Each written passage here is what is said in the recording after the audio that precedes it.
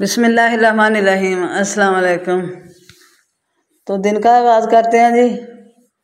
मगर दिन का नहीं जी, दोपहर का आगाज़ करते हैं, सब्ज़ी बनाने से। तो सब्ज़ी मैंने मंगाई मिक्स सब्ज़ी। तो मिक्स सब्ज़ी मैं बना रही थी तो मेरी भतीजी आ गई। तो वो मेरी बेटी जो है, उसने आते ही शुरू कर दी सब्ज़ी बनानी। उसने कहा, जी, मैं बनाती हूँ। मैंने कहा, आप चाय वगैरह तो पी लें। लेकिन उसको ज़्यादा दिलचस्पी नहीं थी इतनी। चाय में उसमें काम करने की ज़्यादा होती है। तो जब छोटी थी, जब मैं अपने, मेरी फूफो के साथ वो आती थी तो हमारे पास तब भी उसको बहुत शौक़ होता था काम करने का। फिर कहती थी, आंटी, आप बैठ जाए, मैं खुद ही करती हूँ। तो इस वक्त जब आई तो वैसे ही उसने सारा काम शुरू किया हुआ था।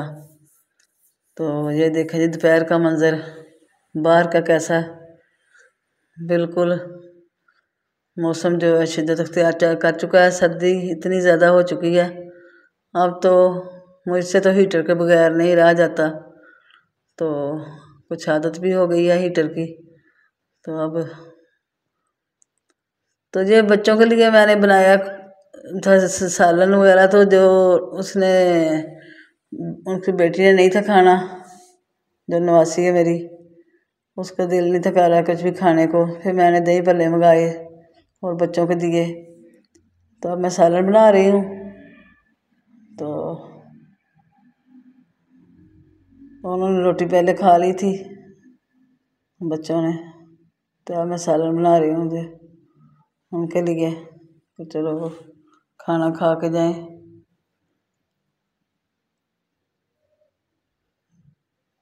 तो ये ऐसे जब मिलते हैं, फिर सारे अपनी पुरानी यादें आ जाती हैं। मेरी फूफो जान थे, बहुत अच्छे मेरी उनसे। फूफो जान थी, लेकिन मेरे उनसे ऐसे तल्लुकात थे जैसे दोस्ती के होते हैं, जैसे हम सहेलियाँ होती हैं, ऐसे थे। तो मुझे फिर वो पुरानी यादें आ जाती हैं, जब हम करीब करीब रहते थे। तो बस। दुख होता है जब इंसान और अफराद ही नहीं रहते जो प्यार मोहब्बत वाले होते हैं। तो लेकिन मुझे अपनी भतीजी से भी, भी बहुत प्यार है। वो आती है उसका अखलाक उसके सारे अफराद बहुत अच्छे अखलाक के हैं।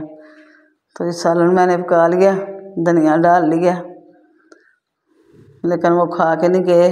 तो मैंने जाना जी आज ज़रा डॉक्टर के पास। मैंने कहा बेटे कल चले जाएँगे। वो कहता नहीं मैंने आज लेके जाना है। थोड़ा टेस्ट वगैरह करा लें। चलो। तो वापसी पे बच्चों के लिए थोड़ी सी उनकी पसंद की चीज़ वगैरह लेके आई। निमको मैं थोड़ी सी उधर भेजूँगी अपने नवासे को भी। तो इनके लिए भी। छोटी बेटियों की फरमाइशें होती हैं ऐसी। वो अखरोट थे, अखरोट तो हम घर से ख़त्म काम ही होते हैं। आते रहते हैं जी। तो वो अखरोट वगैरह लाई थी। और जराबें।